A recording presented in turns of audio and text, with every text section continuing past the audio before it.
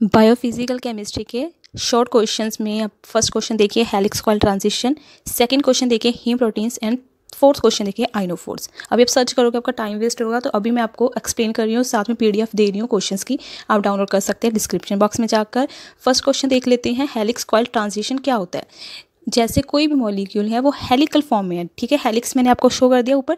अब वो हेलिक्स से क्वाइल फॉर्म में चला जाए, वो क्या हुआ है उसके अंदर?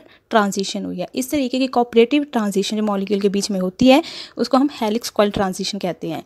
हीम प्रोटीन्स क्या होते हैं? हीम एक पोरफायरिन का आयरन कंटेनिंग कंपाउंड होता है, ठीक है? अगर पोरफायरिन आपको नहीं पता तो आप देख सकते हैं, इसके ऊपर मैंने डिटेल वीडियो बनाई है। अब हीम पोरफायरिन का ग्रुप है, अब वो हीम अगर किसी प्रोटीन के साथ लग जाए तो हम उसको हीम प्रोटीन्स कहते हैं। हीमोग्लोबिन मायोग्लोबिन इसकी एग्ज़ाम्पल होती हैं।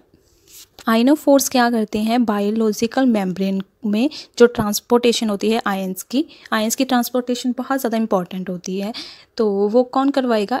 आइनोफोर कैसे करवाता है? ये चार्ज कैरियर की तरह एक्ट करता है। मतलब चार्ज को कैरी कर देता है एंड आगे ट्रांसपोर्ट कर देता है। इसके दो टाइप्स हैं चैनल एंड फॉर्मर्स तो वीडियो आपको कैसी लगी? आपको ऐसे क्वेश्चंस और चाहिए, अपनी सजेशन मुझे कमेंट्स में बताएँ सो so दैट मैं उसके अकॉर्डिंग ही वीडियोस अपलोड करूँ।